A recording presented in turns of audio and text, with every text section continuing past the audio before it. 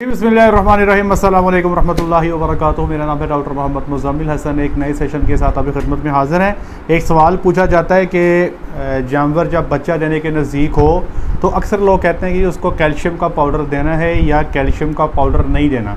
तो मैंने कई दफ़ा समझाने की कोशिश की है, लेकिन आज मैं आपको ज़रा बहुत ही आसान करके समझाऊँगा कि जानवर को कितना कैल्शियम चाहिए और आपने देना है। या आपने कैल्शियम नहीं देना। तो मैं चाहूँगा कि कैमरा में मेरे पास आ जाएँ।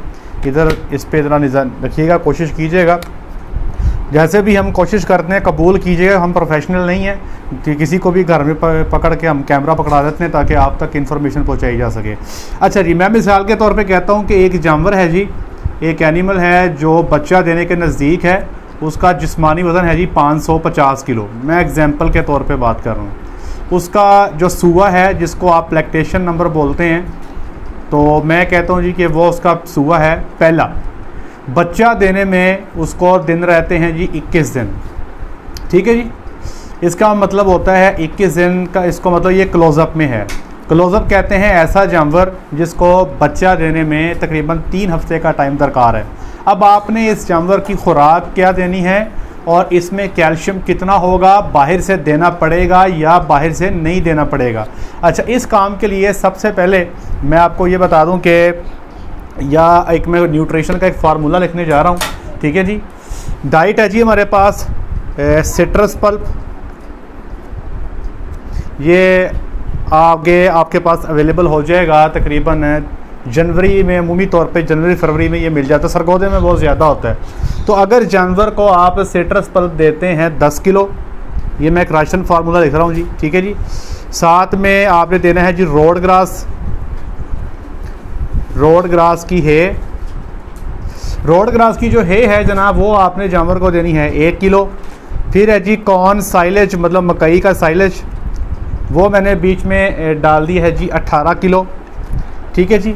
अब आगे आ जाए वनडे का जो पोर्शन है, उसमें मकई, मेज़ ग्रेन, वो मैं जानवर को दे रहा हूँ जी ढाई किलो। ठीक है जी, ये सारे जो हैं ये किलोग्राम में हैं। अच्छा अब आ जाएँ आप सोयाबीन मील सोयाबीन मील, ये मैं जानवर को दे रहा हूँ जी दो किलो। ठीक है जी, और साथ में क्लोज़अप प्री मिक्स ये है जी तकरीबन एक के जी ये हमने क्लोजअप प्रीमिक्स बनाया है। मार्केट में ये जो लोग जानवरों को तैयार करना चाहते हैं, उनको हम दे भी रहे हैं। अच्छा अब सबसे पहले यहाँ तक मैं अलहदा कर लेता हूँ, इसको मैं अलहदा कर लेता हूँ। क्लोजअप प्रीमिक्स में आपने देखना है कि आपने कैल्शियम कितना देना है और कैसे देना है। अब मैं आपको कैलकुलेशन करके चीज़ें बड़ी आसान कर देता हूँ। ये तो हो गया जी जो खुराक आपने दी है। अच्छा ये जो वनडे का, ये जो टी एम आर का फार्मूला है, ये मैंने कोई एक फार्मूला आपके सामने रख दिया है। ये ज़रा महँगा है। आजकल चूँकि महँगाई बहुत ज़्यादा हो चुकी है और ये सिट्रस पल्प अवेलेबल भी नहीं है, और चूँकि सोयाबीन मिल 204 203 रुपए पे जा चुका है तो इसको हम फॉलो नहीं करते, लेकिन आपको समझाने के लिए मैंने एक राशन यहाँ पे लिख दिया है। अब इसका आपने सबसे पहले ड्राई मैटर निकालना है। सिट्रस पल्प का ड्राई मैटर है बारह फ़ीसद। ये आप फीडी पीडिया पे आप जाएँगे गूगल पे तो वहाँ पर सारी चीज़ें मिल जाएँगी। रोड ग्रास का ड्राई मैटर है छियासी फ़ीसद। कॉर्न साइलेज का ड्राई मैटर है तीस फ़ीसद। मकई के दानों का ड्राई मैटर है, तकरीबन अट्ठासी फ़ीसद, और सोयाबीन का ड्राई मैटर है नबे फ़ीसद। अगला टेबल मैं लिखूँगा अवेलेबल ड्राई मैटर ठीक है जी? ये क्या है कि 10 किलो आपने सिट्रस पर डाला, उसका ड्राई मैटर था 12 परसेंट तो इससे आपको ड्राई मैटर मिलेगा एक इशरिया दो के लिए, एक इशरिया दो किलो। ये कैसे निकालेंगे? आप इसको 12 ज़रब 10 तकसीम सौ कर देंगे।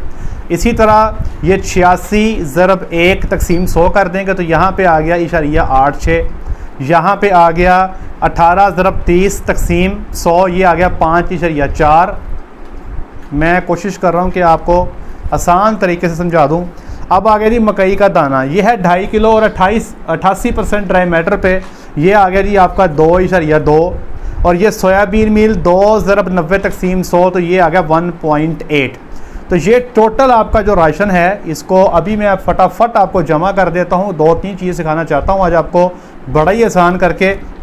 इस सबको जमा कर लें। वन पॉइंट टू जमा पॉइंट एट सिक्स जमा फाइव पॉइंट फोर जमा टू पॉइंट टू जमा वन पॉइंट एट ये बन गया जी ग्यारह इशारिया।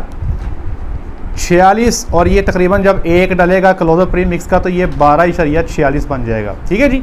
अच्छा अब मैंने आपको बताना ये है कि हमारे पास कैल्शियम मौजूद कितना है। ठीक है जी, कैल्शियम। अब आप फीडीपीडिया पे जाएँगे तो आपको सारी डिटेल मिल जाएगी।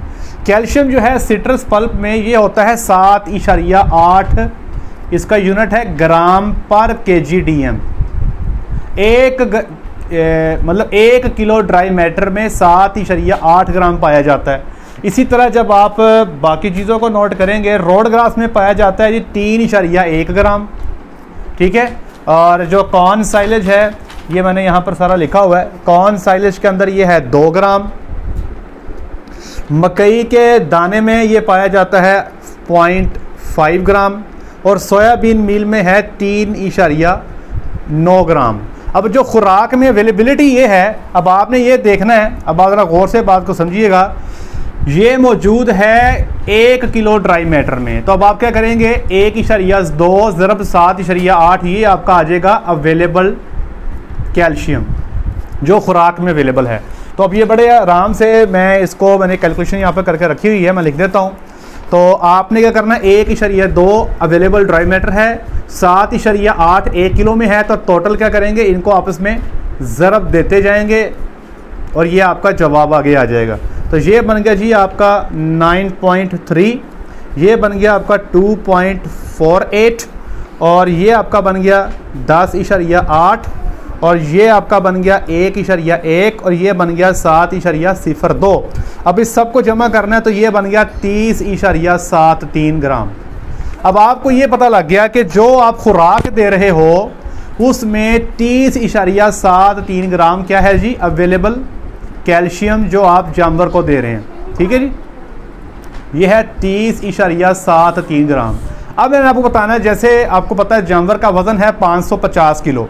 क्लोजअप में जब जानवर जाता है तो आप उसको ड्राई मैटर कितना देते हो? उसको हम क्लोजअप में ड्राई मैटर देते हैं 1.8 से दो इशरिया दो परसेंट। ठीक है जी?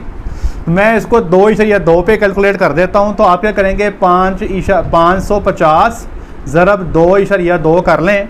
और इसको सौ पे तकसीम कर दें पाँच सौ पचास ज़रब दो इशारिया दो, तकसीम सौ कर लेंगे तो ये बारह इशारिया एक आ गया जी। जानवर को ड्राई मैटर चाहिए, बारह इशारिया एक किलो। आप कितना दे रहे हैं? बारह इशारिया चार छः किलो तो ये तो हो गया डन। अब आपको कैल्शियम देनी कितनी है? कैल्शियम की रिक्वायरमेंट कितनी है? रिक्वायरमेंट कैल्शियम की रिक्वायरमेंट है जी, ये याद रख लें, इशारिया पाँच फ़ीसद ऑफ़ ड्राई मैटर। ये आ गया इशारिया पाँच। अब आपका ड्राई मैटर कितना है? बारह इशारिया एक। ठीक है जी? अब चूँकि परसेंट है, इसको सौ पे तकसीम कर दें। तो आपके जानवर को इशारिया पाँच, ज़रा बारह इशारिया एक, तकसीम सौ। ये आपके जानवर को जी साठ ग्राम कैल्शियम चाहिए। कितना जी? साठ ग्राम। आप दे कितना रहे हैं? तीस इशारिया तिहत्तर ग्राम।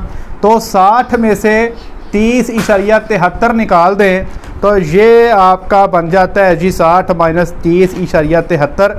आपको उनतीस ग्राम जानवर को बाहर से देना है। अब जो कैल्शियम कार्बोनेट है, ये अमूमी तौर पे लोग कैल्शियम के तौर पे यूज़ करते हैं। इस कैल्शियम कार्बोनेट में जो कैल्शियम है, ये हमारे यहाँ जो पाकिस्तान में अवेलेबल है, ये 30 परसेंट भी है 40 भी है 50 भी है। मैं यहाँ पे 40 परसेंट लिख रहा हूँ जी, जो अवेलेबिलिटी है। आप अगर 100 ग्राम कैल्शियम कार्बोनेट देते हो तो आपको 40 ग्राम जो है वो उससे कैल्शियम मिलता है। आपको चाहिए उनतीस ग्राम तो तकरीबन पचहत्तर ज़रब 40 करेंगे तो ये 30 ग्राम बन जाएगा। तो 75 ग्राम आप कैल्शियम कार्बोनेट आपको इसको राशन में देना पड़ेगा क्लोजअप में डालना पड़ेगा, इस प्रेमिक्स का हिस्सा बनाना पड़ेगा। अच्छा एक तो ये बात हो गई। अगर मिसाल के तौर पे मैं कहता हूँ कि ये लैक्टेशन का नंबर पहला नहीं है, मैं इसको काटा मार देता हूँ। मैं कहता हूँ लैक्टेशन का नंबर है दूसरा या तीसरा। जब दूसरा या तीसरा लैक्टेशन पे जानवर जाता है तो उस जानवर को हम एक डिफरेंट काम क्या करते हैं? उसका डी कैट करते हैं। डी कैट क्या करते हैं? उसकी खुराक में कुछ तब्दीली लेके आते हैं। उसको थोड़ा सा एसिडिक कर देते हैं डाइट को, ताकि जानवर बच्चा देने के बाद उसके जिसम में कैल्शियम की कमी ना हो। जब आप डी कैट खुराक देते हो क्लोजअप में तो जानवर के पेशाब से कैल्शियम ज़्यादा मकदार में बाहर निकलना शुरू हो जाता है।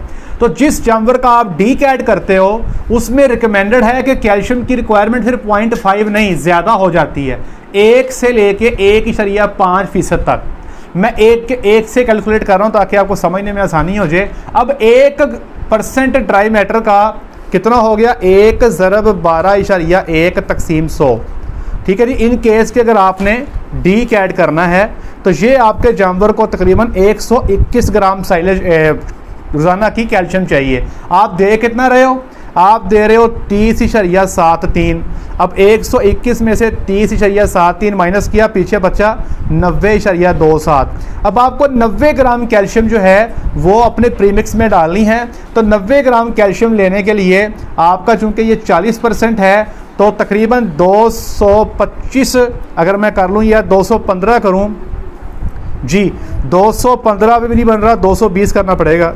220 ज़रब चालीस हाँ जी 220 से 225 ग्राम मुझे कैल्शियम कार्बोनेट बाहर से इस प्री मिक्स में डालना पड़ेगा अगर मैं अपने जानवर का क्लोजअप कर रहा हूँ। तो इसी तरह आप फास्फोरस को कैलकुलेट करते हो, इसी तरह आप बाकी चीज़ों को कैलकुलेट करते हो। तो ये एक सही तरीका है कि आपको ये पता हो कि कैल्शियम देना है, नहीं देना है, कितना देना है। अमूमी तौर पर लोग घबरा जाते हैं कि यार ये सूण वाली ये कैल्शियम नहीं देना। भाई कैल्शियम आपका पहले ही थोड़ा है। ठीक है जी, आप डी कैड नहीं कर रहे, तब भी पूरा नहीं हो रहा तो आपको ये कैल्शियम कार्बोनेट देना पड़ेगा, इससे आपको अपना कैल्शियम पूरा करना पड़ेगा।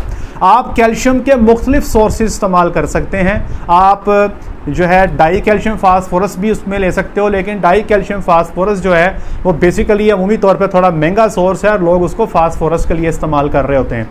तो वो खैर आपका जो भी न्यूट्रिशनिस्ट होगा, वो चीज़ों को मैनेज करने के लिए आपको सारी डिटेल समझा देगा। मैंने बड़ी कोशिश की है कि बड़ा ही आसान करके चीज़ों को आपके सामने समझा दूँ। मुझे उम्मीद है कि वो लोग जो न्यूट्रिशन पे काम करना चाहते हैं, उनको मैंने बड़ा आसान सा करके समझा दिया। फिर बता रहा हूँ कि ये जो राशन है, ये एक फ़र्ज़ी राशन है और ये पढ़ रहा है, यूएस में पढ़ रहा है। यूएस के किसी फार्म पे ये पढ़ रहा है। उस वहाँ पे चूँकि यूएस में मकई के दाने की और सोयाबीन मील की कीमतों में ज़्यादा फ़र्क नहीं है तो वो डाल सकते हैं। हमारे यहाँ पे मक्की पचहत्तर पे है, सोयाबीन मील 203 से 204 रुपए है।